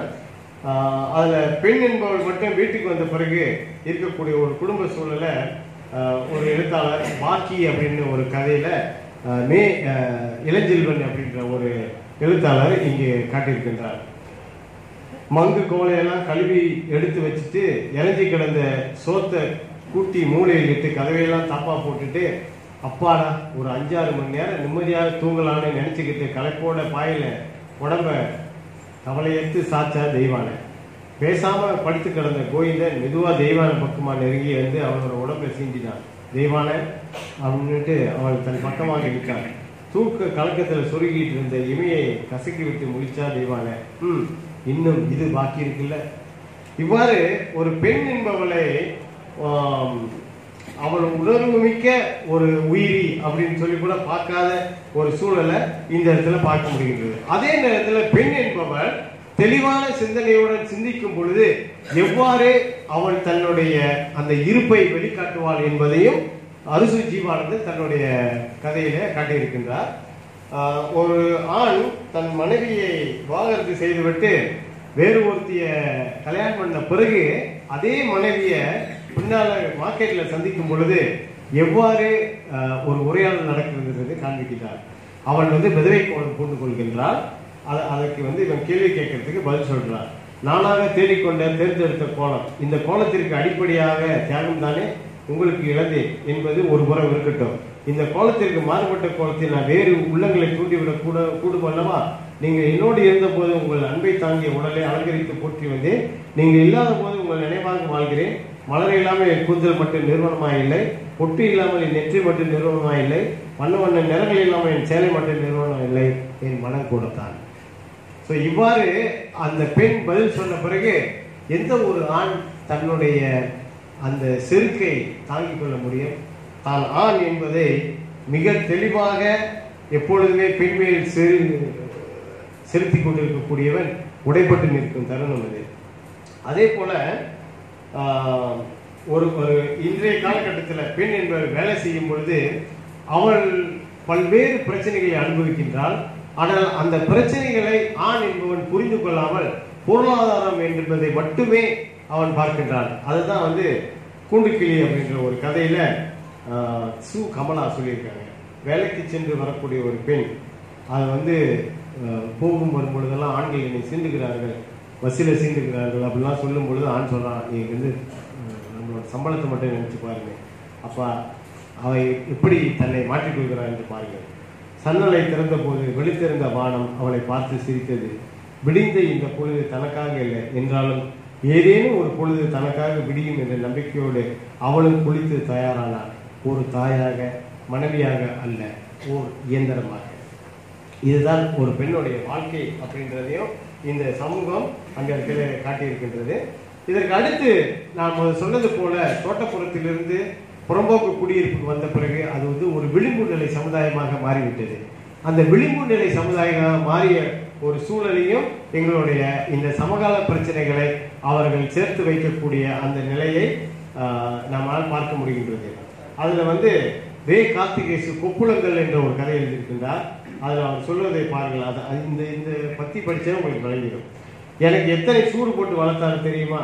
அந்த சூடுகளின் பலன் என்ன என்று யாரும் அவனை கேட்ட கேட்கவில்லை. அத்தனை சூடுகள் போட்டு ஒழுக்கம் போதிக்கப்பட்ட இந்த குடும்பத் தலைவன் படிப்பில்லாமல் கான்ட்ராக்டில் அன்றாட கூலியாக வேலை செய்து புறம்போக்கு பகுதியில் சட்டவிரோத குடிசையில் ராஜ்யம் நடத்தி மாலை வேலைகளில் வீர் போத்தல்களை சுற்றி உட்கார்ந்து நாலு நம்பர் கதை பேசுவதை தன் வாழ்க்கையின் உன்னத லட்சியமாக வரித்து கொண்டிருப்பதை சூடு போட்டு ஒழுக்கம் போய் அவன் அப்பா பார்த்தா உச்சு கொடுத்து போவானோ? அதாவது தன்னை வந்து ரொம்ப ஒழுக்கமாக வளர்க்கிறேன் என்று சொல்லி இவ்வாறு அநியாயமாக விட்டுவிட்ட ஒரு சூழலை தான் நம்ம வந்து பார்க்க முடிகின்றது. அதே போல தான் ஒரு அம்மா தான் வந்து ஒரு ஒரு பையன்கிட்ட ஏமாந்து ஒரு பிள்ளையை பெற்று வளர்க்கும் பொழுது அந்த பிள்ளைகிட்ட ரொம்ப சர்வ ஜாக்கிரதையாக நடந்து கொள்ள வேண்டும் என்று சொல்லுகின்ற பொ- சொல்லி நடக்கின்ற பொழுது அவள் சிறார் வரை கொடுமையில் மாட்டிக்கொள்கின்றார் அம்மா அடித்தாலும் ஏசினாலும் நீ ஒரு நாளும் என்னை பட்டினி போட்டதில்லையே.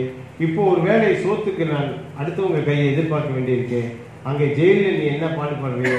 அம்மா நீ சூடு வச்சதுக்கு பதிலாக நீ என்னை கத்தியிலே குத்தி கொலை பண்ணியிருக்கலாம். உனக்கு தூக்கு தண்டனை கிடைச்சிருக்கும். ரெண்டு பேரும் யாருக்கும் பாரம் இல்லாமல் நிம்மதியா நிம்மதியாக போயிருக்கலாமே அம்மா அப்படின்னு இவ இவ சொல்கிறான் இது இது எதை காமிக்குது அப்படின்னு சொன்னால் இந்த புறம்போக்கு குடியிருப்பு வாழ்க்கையில் இந்த தமிழ் சமூகம் எவ்வாறு வாழ்வியல் சிக்கல்களை எதிர்நோக்குவது என்பதை எங்களுடைய எழுத்தாளர்கள் அங்கே காட்டியிருக்கின்றார்கள். அதேவேளை புறம்போக்கு குடியிருப்புகளில் வாழக்கூடிய அந்த வாழ்க்கை நிரந்தரமானதல்ல. அது அரசுக்கு எதிரான ஒரு சூழலிலே எப்பொழுதும் தங்களுடைய வாழ்க்கை பறிபோகலாம் என்பதே சண்முக சிவா தன்னுடைய வீடு விழுதுகள் நாவல சிறுகதை காட்டியிருக்கார். அதில் ஒரு ஒரு பெண் பேசுவதை கேளுங்க. என்ன வாங்கடா வந்து அள்ளிக்கிட்டு போங்கடா என்று ஆவேசமாக ஒரு நடுத்தர வயது பெண்ணு தலைவரி கோலமாக கைகளை விரித்து நெஞ்சில் அடித்துக்கொண்டு கத்தினார். கண்களில் கால்வாயில் வெள்ளம். அவர்கள் அவர்களும் நிஜமாகவே அவள் வீட்டில் நுழைந்து சோபா டிவி ஃபிரிட்ஜ் எல்லாவற்றையும் எடுத்து வந்து வெளியே போட்டார்கள். இவ்வாறு தான் அவர்களுடைய வாழ்க்கை எப்பொழுதுமே நிரந்தரமில்லாத ஒரு வாழ்க்கையாக இருக்கின்றது என்பதையும் இங்கு இப்பொழுது சமகால பிரச்சனைகளாக அங்கே காட்டுகின்றார்கள். பின்னை நவீனத்துவ போக்குகள் அப்படின்னு கடைசியாக வரக்கூடிய இந்த கோட்பாட்டிலே இன்று நிறைய பேர் எழுதியிருக்கின்றார்கள். இதில் வந்து நவீன் கே. பாலமுருகன் யுவராஜன் சந்துரு பூங்குழலி ஏ. தேவராஜன் மகாத்மன் பா. சிவம் சிவா பெரியனன் முனீஸ்வரன் தோழி யோகி கங்காதரன் முனீஸ்வரன் இளம்பொருளன் முதலான இந்த புதிய எழுத்தாளர்கள் இங்கே நடைபெறக்கூடிய எழுத்தில் காட்டப்படக்கூடிய பல்வேறு கோட்பாடுகளை படித்து தங்களுடைய எழுத்துக்களை இன்று அங்கு பரவலாக்கி வருகின்றனர் பின்னர் இங்கே இருக்கக்கூடிய பல்வேறு எழுத்தாளர்கள் உதாரணத்துக்கு ஜெயமோகன் இன்னும் மற்றவர்களும் அதாவது ஜெயமோகனை சார்ந்தவர்களும் அங்கே வந்து இவர்களுடன் கலந்துரையாடி தங்களுடைய எண்ண பதிவுகளை அங்கே வைக்கிறார்கள். ஸோ எங்களுக்கு மீண்டும் ஒரு புது புது செல்நெறியாக பின்னணி நவீனத்துவ கோட்பாடுகள் வந்தாலும் கூட இந்த எழுத்தாளர் ஆளுமைகள் எங்களுடைய செல்நெறிகளை இன்று உருவாக்குவதற்கான ஒரு காரண காரியங்களை உருவாக்கி வைத்திருக்கிறது என்று நம்ம பார்க்க முடிகின்றது. உதாரணத்திற்கு காட்டாறு அப்படின்ற ஒரு சிறுகதையை முத்துசாமி எழுதியிருக்கார் அதில் என்னன்னு சொன்னால் புலாட் கதை திட்டமே இல்லாம ஒரு உணர்வையின் அடிப்படையிலே எழுதியிருக்கின்றார். அதுல வந்து அந்த கதையினுடைய உச்சமே கடைசியில் குணம் வைக்கிறார். பாருடா நாயே அந்த மூலையில பாருடா உன்னோட பத்து வயசு மகளை பாருடா நாங்க பத்து பேருடா அவளை துவைச்சி கிழிச்சி நாறு நாளாக்கி போட்டிருக்கிறதை பாருடா அப்படின்னு சொல்லியிருக்கேன் இந்த அப்பா அங்க இருக்கக்கூடிய ஒரு சில குண்டர் கும்பலை பற்றிய செய்திகளை போலீசாரிடம் தெரிவித்து விட்டார் என்- என்ற ஒரு காரணத்திற்காக மட்டுமே இவ்வாறு செய்திருக்கிறார். ஆனால் அதில் வந்து அவர் நான் இப்போ சொன்ன விஷயத்தை கூட அவர் அங்கே சொல்லலை. ஆனால் அந்த அந்த குண்டர் வாழ்க்கை முறைகள் பிறகு இவருடைய நெருக்கடி நிலை இதுதான் உணர்வு மையமாக அந்த கதையிலே வருகின்றது. அதில் வந்து நம்ம வந்து அந்த சிறுகதையுடைய அமைப்பு முறையை அதில் பார்க்க முடியாது. ஆனால் அது பின்னணி நவீனத்துவத்தில் எழுதப்படக்கூடிய ஒரு முறையாகும். அதே போல தான் சிவத்துடைய ஒரு கதை. அங்கே சொக்கப்பன் செட்டியார் செத்து போய் ரெண்டு மணி நேரம் கூட ஆகலை. அதுக்குள்ளே இந்த மனுஷன் போயிட்டாரு ஐயா. சாமி அருகில் இருந்த எல்லாரும் சொக்கப்பட்டிகள் செட்டிகளாக ஐயா நாதர்களாக தெரிந்தார்கள். புறவையில் நின்றிருந்தால் முன்பு முன்கதவு படார் என்று சாத்தி கொண்டது. அதாவது உணர்வு நினைவு அப்படின்ற ஒரு ஊடாட்டத்திலே எழுதப்பட்ட ஒரு கதை. சரியலிசம் என்று நாம் சொல்லுவோம். அந்த அந்த நிலையில எழுதப்பட்ட ஒரு கதையாக இது அமைகின்றது. ஸோ இது எல்லாமே வந்து இன்றைய சூழலிலே ஒரு என்ன சொல்றது ஒரு செல்நெறியாக அங்கு உருவாகி கொண்டிருக்கிறது என்று நம்மால் பார்க்க முடிகின்றது. ஸோ அந்த வகையில் பார்க்கும் பொழுது ஆரம்பத்திலே புதுமைப்பித்தனுடைய அந்த செல்நெறிகள் உருவான ஒரு ஒரு நல்ல சூழலை பார்த்தாலும் கூட அது வந்து தொடர்ந்து அங்கே நிலையாக நிற்க இடமில்லாமல் போனது. இரண்டாம் உலக போருக்கு பின்னால வெளிவந்த அந்த காலகட்டத்தில் ஆசிரியர்கள் பத்திரிகை ஆசிரியர்கள் பிறகு இலக்கியவாதிகளோட ஆளுமையின் அடிப்படையில் ஒரு செல்நெறியாக வந்தன. அதற்கு பின்னால் மிக செல்வாக்கு நிறைந்த ஒரு செல்நெறியாக இருந்தது. சமகால பிரச்சனைகளை தங்களுடைய படைப்புக்குள் கொண்டு வந்த ஒரு செல்நெறி பிறகு அந்த பெண்களுடைய அந்த உணர்வுகளை கொண்டு வரக்கூடிய அந்த செல்நெறிகள் பின்னாலே பின்னை நவீனத்துவ கோட்பாடுகளின் அடிப்படையிலே வந்த ஒரு செல்நெறிகள் இன்று தமிழகத்து சில எழுத்தாளர்களுடைய ஆளுமைகளின் அடிப்படையிலே பின்னணி நவீனத்துவத்தின் அந்த பின்னணியிலே ஒரு செல்நெறி உருவாகி இருக்கிறது என்று நம்மால் மலேசிய இலக்கிய இந்த அண்மை கால செல்நெறிகளாக பார்க்க முடிகின்றது. எனக்கு வாய்ப்பு வழங்கிய சென்னை பல்கலைக்கழக தமிழ் இலக்கியத்துறைக்கு நன்றி கூறி விடைபெறுகிறேன். நன்றி. மலாய் தமிழர்களின் அவல நிலையை மிக கச்சிதமாக எங்கள் மனம் உருகும்படி சிறுகதை சிறுநெறிகளில் படம் பிடித்து காட்டினீர்கள். அந்த சிறுகதை சிறுநெறிகளில் தமிழர்கள் பட்ட தமிழர்களை வேலை நிமித்தமாக தாக்குதலுக்கான சூழ்நிலை இதை வெளிப்படுத்திய காலத்தில் அந்த சிறுகதை எழுத்தாளர்கள் தாக்கப்பட்டதுண்டா?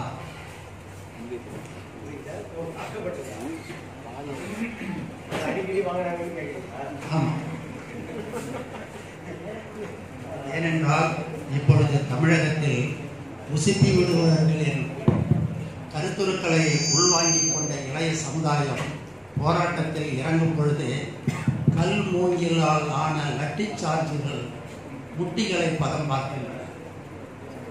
யாருடைய வீட்டு பிள்ளைகள் முதலியார் பணவர்க்கத்தில் தவழ்ந்து கொண்டிருக்கிற வீட்டு பிள்ளைகள் அல்ல. அம்பேத்கர் வாரிசு வீட்டு பிள்ளைகள் அந்த லட்டிச் சார்ஜுகளுக்கு இரையாகின்றார் இதை போல் கருத்துருக்களை வெளிப்படுத்துகின்ற எழுத்தாசிரியர்கள் காலத்தில் தாக்கப்பட்டவர்களா நன்றி ஐயா. அதாவது எங்களுடைய காலகட்டத்தில் இருந்த இந்த அதாவது நீங்கள் ஒன்று புரிஞ்சுக்கணும். நம்ம மலேசிய நாடு என்று மூவினத்தில் ஆனது மலாய் சீனர் தமிழர் அப்படின்னு சொல்லிட்டு. இந்த தமிழ் கதைகள் எங்களுக்கு வந்த ஒரு காலகட்டத்தில் தமிழர்கள்கிட்ட மட்டுமே உள்ள ஒரு ஒரு நிலை. அடுத்தது வந்து அங்கே சட்டம் வந்து கொஞ்சம் கடுமையானது. ஸோ நீங்கள் சொல்கிற மாதிரி ஒரு கதையில் என்னை பற்றி சொல்லிட்டாங்கன்னு சொல்லிட்டு ஒருத்தவங்களை தாக்கிட்டாங்கன்னா பிறகு அவனோட கதி என்ன ஆகும்னு சொல்லிட்டு அவனுக்கே தெரியாது. ஸோ அதனால் அதை கொஞ்சம் அடக்கி வாசிப்பாங்க. மற்ற ஒரு சூழலில் வந்து இந்த கதையில் இப்படி சொல்லப்பட்டிருக்கிறது அப்படின்றது வந்து ஒரு போராட்டமாகவோ அல்லது மற்ற ஒரு சூழலில் வெளிப்பட்ட ஒரு நிலை அங்கே இல்லை. ஸோ அதனால் இந்த மாதிரியான தாக்குதல்கள் வெளிப்படையாக அங்கே எதுவும் நடக்கல. நான் சொல்கிறேன் நன்றி. என் பேர் வந்து கமலக்கண்ணன். நீங்கள் சொன்ன சிறுகதை வந்து ஒவ்வொரு சிறுகதையும் வந்து அங்கே நடக்கக்கூடிய இயல்புகள் வந்து எப்படிலாம் வந்து தன மக்கள் வந்து சூழலை வந்து நீங்கள் சொன்னீங்க சிறுகதை அது நல்லா இருந்துச்சு. எனக்கு என்ன கேள்வினா இங்கே வந்து தமிழ்நாட்டிலையும் சரி ஒரு திராவிட கழக சூழலை வந்து ஒரு ஒரு கொங்கு மண்டல சிறுகதைகள் ஒரு தொண்டை மண்டல சிறுகதைகள் இந்த மாதிரி வந்து சிறுகதைகள் வகைகள் வந்து பிரிக்கப்பட்டு அறிஞர்கள் வந்து சொல்கிறாங்க இந்த சிறுகதை மலேசியாவில் வந்து எப்படிப்பட்ட அந்த உரையாடல்கள் அந்த சொல்லாடல்கள் இங்கே வந்து மாறுபடுது? இங்கே இருக்க உரையாடல்கள் அங்கே எது? அங்கே இடம்பெறுது நன்றி. நல்ல அவதானிப்பு. இது வந்து எனக்கும் ஒரு பிரச்சனை. ஏன்னு கேட்டால் நாங்கள் வந்து அங்கே எஸ்பிஎம் பன்னிரெண்டாம் வகுப்புன்னு நினைக்கிறேன். ரெண்டாம் பன்னெண்டாம் எஸ்பிஎம் எஸ்பிஎம் அதுக்கப்புறம் ஃப்ரீ அது அதில் பம்ப் சொல்லுவோம். அதில் வந்து தமிழ் இலக்கியத்திற்கு நாவல்கள் சிறுகதைகள் தொகுப்பு வைக்கணும் பாடமாக. இன்ன வரையும் எங்களால் தைரியமாக வைக்க முடியுறது வந்து மூவா வரையிலான அகிலன் நான் பார்த்த சாரதி இப்படிப்பட்டவர்களுடைய எழுத்துக்களை தான் வைக்க முடியுது. காரணம் என்னன்னா வேற ஒன்றும் இல்லை. இப்போ மற்றவங்க எழுத்து எழுத்து எழுத்தை பற்றி நான் வந்து அவங்களுடைய திறமையை பற்றி நான் பேசலை. இங்கே இருக்கக்கூடிய நீங்கள் சொன்ன அதே விஷயம் தொண்டை மண்டலம் அல்லது கொங்கு நாடு சம்பந்தப்பட்ட வட்டார விஷயங்கள் அதில் பேசப்படும் பொழுது அங்கே தெரியாது. உதாரணத்திற்கு தலித் இலக்கியம். தலித் இலக்கியமே எனக்கு இங்கே வந்த பிறகுதான் அறிமுகம். ஆனால் நல்லா படிச்சுக்கிட்டேன்.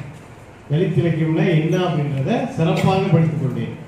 நான் என்னுடைய வகுப்பிலே அதை செய்கிறாங்க மலையா பல்கலைக்கழக இந்திய ஆய்வுத் துறையில் தமிழ் இலக்கியத்தில் நவீன இலக்கியத்தில் தலித்து நாவல்கள் தலித்து விஷயங்கள் இலக்கியங்கள் எல்லாமே வந்து மாணவர்கள் படிக்கிறாங்க.